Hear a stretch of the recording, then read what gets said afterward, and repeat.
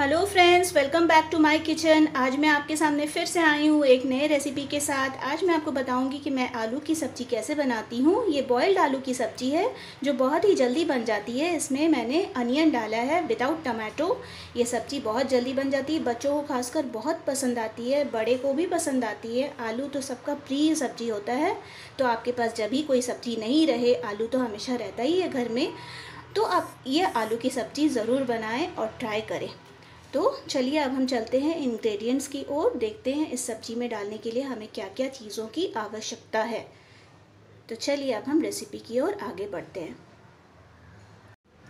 तो friends boiled आलू की सब्ज़ी बनाने के लिए ड्राई सब्ज़ी बनाने के लिए हमने लिया है दो बॉयल्ड आलू, उसके बाद एक अनियन लिया है, इतना एक कटोरी धनिया पत्ती का टुकड़ा करके मैंने रखा है, और मैंने मसाले में लिया है हाफ़ टी स्पून हल्दी पाउडर हाफ़ टी स्पून मिर्च पाउडर एक पिंच है हिंग, एक मिर्च जिसे मैंने इस तरह से चीरा लगा के रखा है और कुछ पत्ते हैं करी पत्ते के।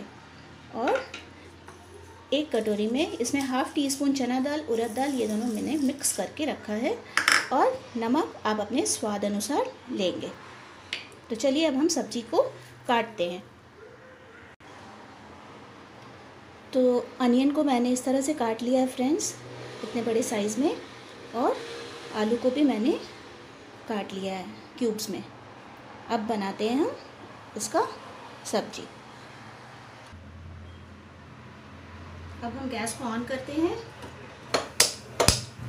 इसमें लगते हैं ये कढ़ाई और उसके बाद इसमें हम सबसे पहले डालेंगे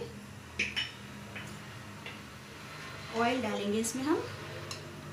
इसमें हम एक टेबल स्पून और ये half one and half tablespoon oil डाला है इसमें मैंने। थोड़ा ऑयल को गर्म देने, होने देते हैं दोस्तों।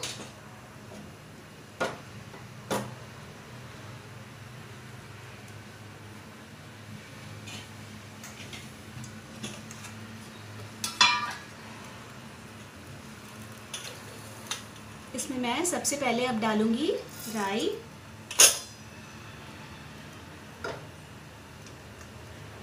उसके बाद मैं डालूँगी इसमें जीरा।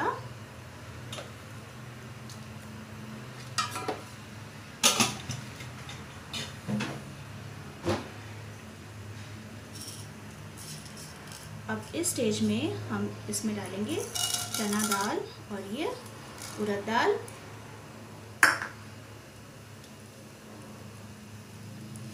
इसे हम थोड़ा सा स्टर कर लेते हैं। इस तरह से।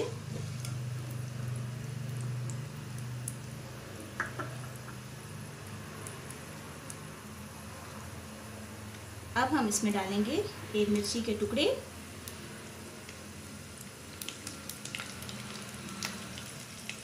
एक बात का ध्यान रखिएगा दोस्तों, चना दाल जले ना बस। अब डालें हम कड़ी पत्ता।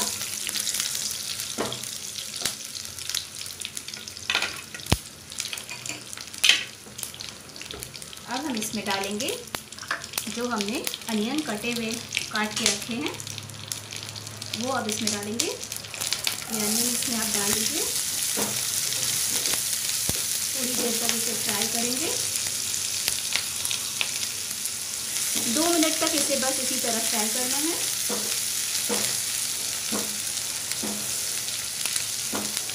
जब तक अनियन ट्रांसपेरेंट ना हो जाए, तब तक फ्राई करना है हमें। अनियन ट्रांसपेरेंट हो गया है फ्रेंड्स अब हम इसमें डालेंगे ये कटा हुआ आलू. इस तरह से सारा आलू आप इसमें डाल दीजिए. उसके बाद फिर से एक बार इसे अच्छी तरह से स्टर करिए. आलू को अच्छी तरह से मिक्स कर लीजिएगा.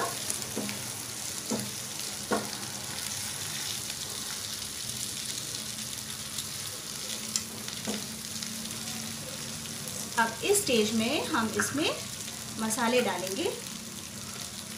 मसाले में हमने क्या लिया था? हल्दी पाउडर मिर्च पाउडर और हिंग बस ये तीन मसाला ही है फ्रेंड्स इसमें और कोई मसाला नहीं है। सबसे पहले हल्दी डाल देते हैं। फिर इसमें डालेंगे मिर्च पाउडर उसके बाद ये हिंग सारा को इसी तरह से डाल दीजिए। उसके बाद इसे अच्छी तरह से मिक्स करिए।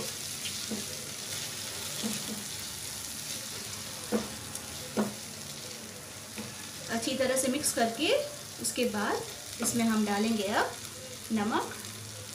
तो नमक, स्वाद अनुसार नमक डालिए आप, जितना आप नमक खाते हैं।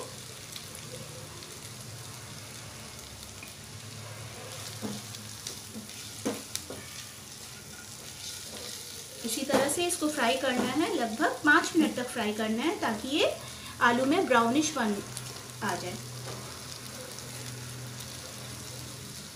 इसे आप थोड़ा सा हाई फ्लेम में फ्राई करिए दोस्तों, ताकि इसमें ब्राउनिश कलर आए। लो फ्लेम में करेंगे तो ये ज़्यादा जल्दी ब्राउन नहीं होगा। हाई फ्लेम में करेंगे तो थोड़ा क्रिस्पीनेस आएगा इसमें। इसी तरह से फ्राई करिए। लगभग पाँच मिनट इसको इस तरह से छोड़ देना है। इसको आप थोड़ी देर ढक के भी रख सकते हैं। इसे मैं ढक देती हूँ इस तरह से। अब यह पाँच मिनट के बाद मैं खोल कर देखूँगी, एक बार और उसको फ्राई करूँगी, उसके बाद गैस का फ्लेम ऑफ़ कर दूँगी। पाँच मिनट हो गया है फ्रेंड्स, अब इसका ढक्कन हम हटाते हैं। इसको फिर से हम स्टर करेंगे। और मैं फ्लेम अब थोड़ा हाई की हूँ, ताकि इसको हाई फ्लेम में बस दो मिनट तक फ्राई करूँ। ताकि इसमें ये आलू में ब्राउनिश बन आ जाए।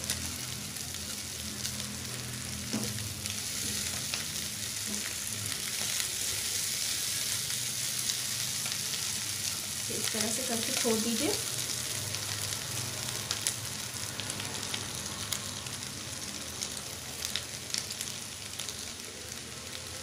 दो मिनट से मैं इसे स्टर कर रही हूँ फ्रेंड्स अब ये अच्छी तरह से ब्राउन हो चुका है।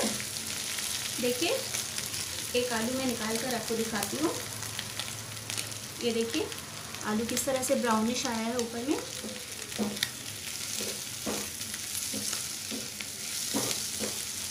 बहुत लोग ज़्यादा आलू फ्राई किया हुआ पसंद करते हैं और कुछ लोग थोड़ा बॉयल ही पसंद करते हैं। अगर आपको फ्राई किया हुआ ज़्यादा पसंद है तो इसको हाई फ्लेम में कुछ देर तक, दो मिनट तक एटलीस्ट इस तरह से करिए। ऊपर से ब्राउनिश बना जाएगा और आलू में क्रिस्पीनेस आ जाएगा।